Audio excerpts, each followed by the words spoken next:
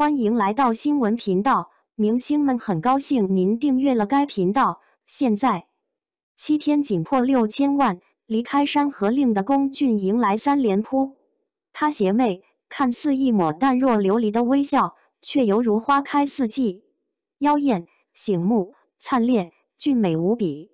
他狂妄，冷眼莫看江湖纷争，明明前一秒还对着一人温柔媚笑，却在一转身的刹那。杀气四起，他疯狂欲凭一己之力拨弄风云，搅乱人心，泄心头之恨，圆多年夙愿，见赤裸裸的真实人性。最重要的是，他帅气，一把摇扇，风流倜傥，举手投足间尽显绝色之姿。对，没错，他就《山河令》中的那个疯批美人温客行。灵妖初见之姿，提起温客行。便不得不说说温客行的扮演者龚俊。龚俊在苗的最初印象里还算深刻。二零一八年的情人节那天，他在青春热血偶像剧盛世里惊鸿一瞥，但那种短暂的记忆转瞬即逝，并没有惊为天人的刻进骨髓里。随着时间的流逝，那个可爱的大男孩已经渐渐消失在了时间的长河里。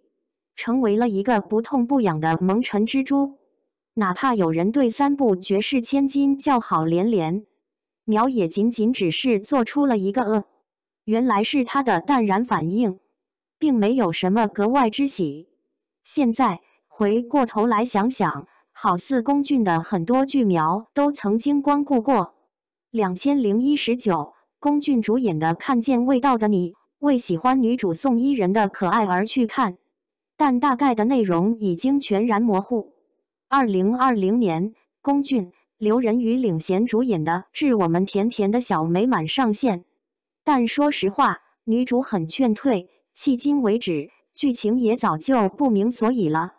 直到二零二零年的一十月，龚俊携手周雨彤为大家带来了一部都市情感剧《从结婚开始恋爱》，虽然该剧并未大火。仅突破了一十八亿的播放量，只是这数据对于一部甜宠剧来说，已经算是不俗的成绩了。且龚俊在该剧中的表现也十分优秀，将温柔医生林睿饰演的丝丝入扣，惟妙惟肖，给观众留下了极为深刻的印象。在甜宠偶像剧里混点儿存在感，却不料他的崛起才刚刚开始而已。零二事业高峰对于二零二一年的观众而言，若是说改编界有天花板，相信有很多人都会将票投给《山河令》吧。该剧因高度还原的剧情，一经上线便受到了诸多观众的疯狂追捧，一举拿下了五十五个猫眼热度日冠，在豆瓣五十六万多人给出了八点六的超高评分。当然了，《山河令》会如此火爆，除了高度还原之外，还有更多的成功因素。该剧不仅画面唯美，台词充满古韵，极其用心，就连演员都选得深入人心。特别是温客行的扮演者龚俊，有网友曾情绪激昂地给出这样的评论：“我绝了，书里的温客行都没你疯批，哈哈哈哈！龚俊绝了。”选角真的好，配音也贴脸。咱先不看该网友对龚俊饰演的温客行的认可程度，光看他一连用了多个叹号，便足以表明观众对温客行的喜欢。且这条评论下还有两千多个赞，可见大家对龚俊的认可程度已经达到了无需沟通的高度默契程度。对于龚俊而言，《山河令》的热播。真的算是他的事业高峰了。在该剧之后，龚俊代言接到手软，采访次数不胜枚举，真可谓火遍了大江南北啊！然而，任谁也没有像想到《山河令》之后，他的剧竟然迎来了三连扑。零三三扑之际，《山河令》前脚刚结束，龚俊主演的另一部青春奇幻网络剧《指尖少年》便趁热打铁的播出。哪怕女主是观众喜闻乐见的陈瑶小美女，该剧却仅仅获得的不到六亿的播放量。若问这部剧有多凉，一看豆瓣都没有开分，便不言自明了吧。二零二一年七月，龚俊携手某女郎张慧雯，为观众带来了一部救援情感剧《你好，火焰蓝》。虽然该剧也曾先后夺得过猫眼的七日日冠，但口碑却一言难尽，百分符号七十八的观众给出了一星、两星、三星的评论。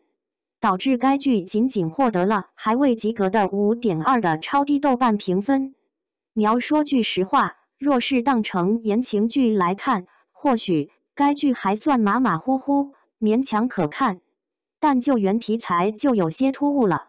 而最令人难以接受的是，龚俊的剧在两连扑之后，又上演了一部陈年旧剧《而你刚好发光》。这部剧早在二零一七年便已经出版发行，到现在才播，不算陈年旧剧算什么呢？当然，被压的剧往往命运多舛，不被观众看好。而而你刚好发光，就真的如同大家预期的一样，扑得无声无息。在上线的第七天，仅仅突破了六千万的播放量，热度更是惨不忍睹。那么，离开了《山河令》之后，龚俊迎来了三连扑，没了温客行的滤镜，他的事业真的就已经跌入谷底了吗？零四未来可期答案一定是否定的啊！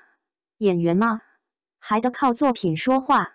而今龚俊还有两部待播剧，一部是他还并未大火之前接的剧本，由藏西川执导，蓝色白担当编剧，乔新任女主。经超为男配的浪漫爱情悬疑单元剧《沉睡花园》，该剧自二零二一年四月一十二开机，历时七十三天的不眠之旅，已经于六月二十四日正式杀青。《沉睡花园》的模式类似于韩剧爆款公式，属于稀缺题材加言情系列，且集催眠、心理学、悬疑、爱情于一身，具有独到的吸睛力。